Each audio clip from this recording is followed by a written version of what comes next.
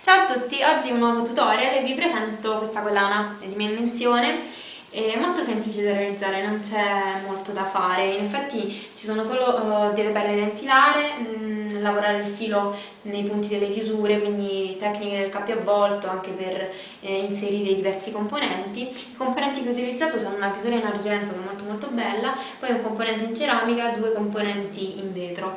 E, ehm, Niente, non c'è molto da dire, eh, l'unica cosa è che se decidete di riprodurre la collana vi consiglio comunque di utilizzare una bella chiusura vistosa e particolarmente definita nei particolari, perché altrimenti siccome la chiusura in questo caso è un punto centrale della collana, secondo me eh, si noterebbe se fosse di scarsa fattura.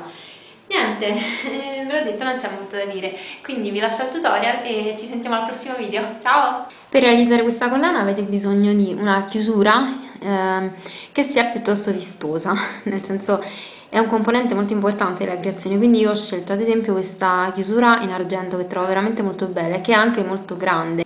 Infatti se la vedete a confronto con l'altro componente che vi si oppone a livello parallelo, le dimensioni sono quelle, molto, molto belle, secondo me comunque eh, messa sul davanti nella parte laterale fa un grande effetto. Io l'ho scelta di bar però poi naturalmente sta a voi decidere che tipo di chiusura volete la, il materiale di cui volete che sia fatta eccetera.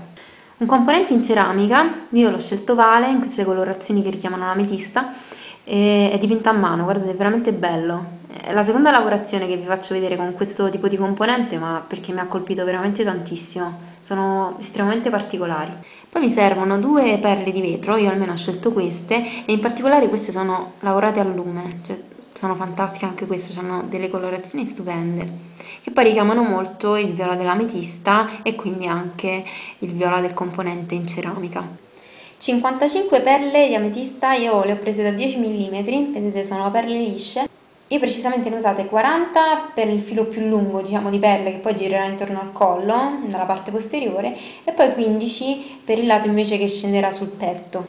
4 schiaccini color argento 4 copri schiaccini io li ho usati da 4 mm 4 anellini da 4 mm argentati li ho scelti 10 distanziatori in metallo, io ho scelto questi da 5 mm perché mi, mi, piacciono molto, sono molto particolari. Del filo di nylon rivestito di rame, in particolare uso questo da 0,35 mm di diametro e eh, ne prendete la lunghezza necessaria per mm, fare la collana nella lunghezza appunto che desiderate. Prendete il filo eh, di metallo rivestito di nylon e ad un'estremità vi inserite uno schiaccino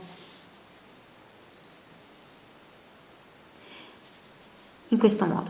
Poi prendete un salvafilo detto anche wire guardian come lo chiamo io eccolo qui e inserite un'estremità del filo all'interno del wire guardian. Dopodiché l'altra estremità la fate passare nell'altro foro e poi fate passare nuovamente il filo all'interno dello schiaccino. Naturalmente potete anche usare il french wire che è quella molla che ha la stessa funzione del War Guardian, soltanto che dovete tagliare la dimensione che vi è necessaria per poi poterla utilizzare. Poi prendete una pinza a punta piatta con le punte non dentellate, almeno io lo preferisco, e schiacciate lo schiaccino tirando bene il filo, in questo modo. A questo punto io preferisco già inserire il coprischiaccino, lo prendo e lo inserisco appunto a coprire lo schiaccino in modo che assolva la sua funzione e poi con le pinze a punta piatta piano piano lo modello fino a che non si chiude. Mi raccomando con molta delicatezza altrimenti lo deformate.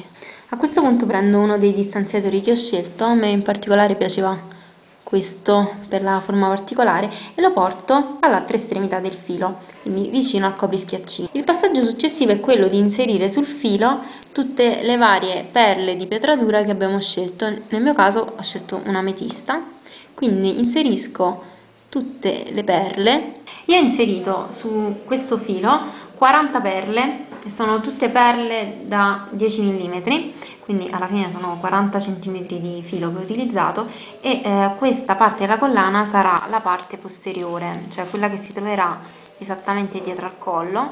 Poi ad un'estremità attaccherò la chiusura ad un'altra estremità invece continuerò utilizzando il componente in ceramica e le perle in vetro quindi adesso a questa estremità inserisco un distanziatore in metallo questo qui poi inserisco uno schiaccino eccolo qui poi inserisco di nuovo eh, il salvafilo o wear guardian e faccio ripassare l'estremità all'interno dello schiaccino. Ecco qui come vedete ho terminato le mie due estremità eh, della, del filo di perle di ametista allo stesso modo poi prendete un pezzo di cavetto d'acciaio diametro 0,40 va benissimo la lunghezza deve essere abbastanza da permettervi di entrare, di inserire diciamo, il componente in ceramica e di effettuare ai due lati la tecnica del cappia-avvolto. Quindi adesso effettuiamo la tecnica del cappia-avvolto a questa estremità, preoccupandoci di inserire nell'asola uno dei fori di questo link in argento. In questo modo poi inseriamo sul filo un eh, distanziatore in metallo il componente eh, in ceramica e poi un nuovo distanziatore in metallo. Da quest'altra parte nuovamente facciamo la tecnica del cappio a volte e ci preoccupiamo di inserire l'asola del cappio all'interno del foro. Naturalmente il foro in cui scegliete di eh, inserire l'asola dipende dalla posizione che volete dare al link, se lo volete in questa posizione influite in questo foro, se lo volete una posizione inversa, foro inverso. Adesso ripetiamo lo stesso procedimento, soltanto che utilizziamo le, la perla in vetro, quindi prendiamo sempre un pezzo di cavetto d'acciaio, ad un'estremità adesso facciamo direttamente un nodino ad orefice, senza inserire questo nodino da nessuna parte. Poi sul filo ho nuovamente inserito un distanziatore, la perla in vetro, un altro distanziatore e a quest'altra estremità nuovamente la tecnica del cappio avvolto, però infilerò la soletta all'interno di questo foro, di questo link in modo che la sfera di vetro e il componente in ceramica risultino legati tra loro. Ecco qui, come vedete ho agganciato la perla e adesso effettuo lo stesso passaggio anche all'altra estremità del componente in ceramica. Ecco qui, come vedete ho terminato questa sezione. Adesso prendo un anellino, io ne sto prendendo uno da 4 mm, però anche qui la dimensione è a vostra scelta, lo apro e unisco eh, l'asola del cappio avvolto vicino alla perla in vetro con il salvafilo che è attaccato alle perle di ametista. Ecco fatto. Adesso dall'altra estremità dell'ametista devo agganciare la chiusura. Quindi prenderò la parte T-bar, io inizio con questa, della chiusura e aggancerò con un anellino la chiusura al salvafilo. In questo modo Adesso devo realizzare la parte davanti della collana, quindi cosa devo fare? Realizzare un nuovo eh, filo di perle di ametista della lunghezza che desideriamo, sempre in base al, alla lunghezza della collana che vogliamo realizzare e agganceremo poi questo filo di perle di ametista da un'estremità alla sfera di vetro, all'altra estremità invece applicheremo l'altra parte della chiusura. Ecco qui, ho realizzato l'altra parte della collana con le perle di ametista, adesso con degli anellini, sempre da 4 mm argentati, unirò da una parte il salvafilo con l'asola della perla di vetro e dall'altra parte invece l'anellino aggancerà sempre il salvafilo però con questa volta la chiusura. E questa è la collana terminata. E così questa è la collana terminata, spero che vi sia piaciuta. Se avete ulteriori consigli, commenti, volete dirmi cosa ne pensate, lasciate commenti, mi fa sempre piacere e ci sentiamo al prossimo video. Ciao!